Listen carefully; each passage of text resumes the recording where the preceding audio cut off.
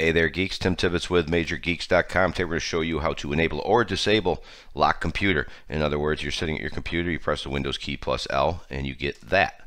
We can enable that for whatever reason if you like. Now, we can do this in the registry, and we can do it with registry files depending on your skill level or, or how comfortable you are. If the registry key is there, it's actually relatively simple to do. We're going to copy and paste this code right here. If you haven't played with the registry before, it's a pretty safe one. So copy what you see here in bold.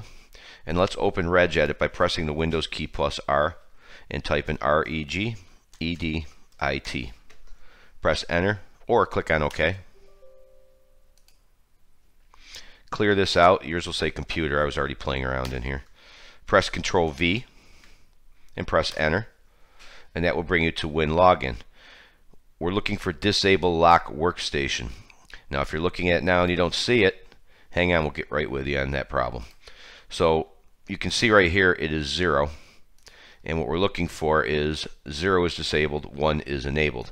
So your odds are your best bet if you want to have the Windows key plus L work, go ahead and set it to 1. If you want it disabled, then you set it to 2.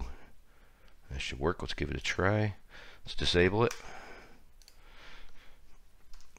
Close that out, hit the screen, press the Windows key plus L.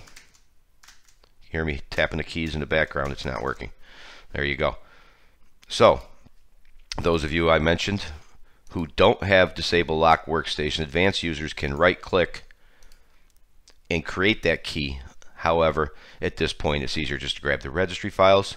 Here's a link here. You can find that in the video description. Just expand the text and you'll find it. Click download now and it will download it. Real easy to do. Go to your download folder and you don't even have to extract them. So we know it's disabled right now. We want to re-enable it, for example. And just click run, click yes, click yes, click OK. Boom, boom, boom, boom, boom.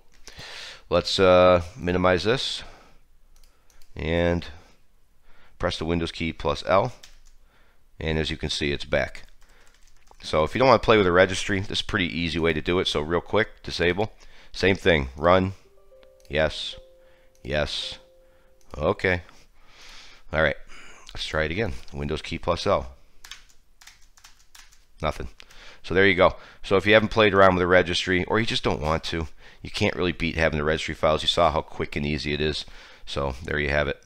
How to enable or disable the Windows key plus L lock computer.